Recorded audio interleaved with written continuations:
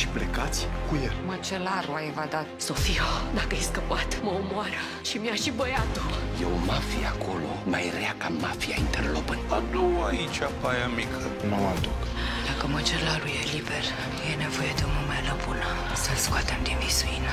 Unde o ții? La tine acolo în pădure? Când zici că te duci în Mahala? Clanul la Pro TV și cu o săptămână înainte pe Voio. Te judecă? Te judecă singur.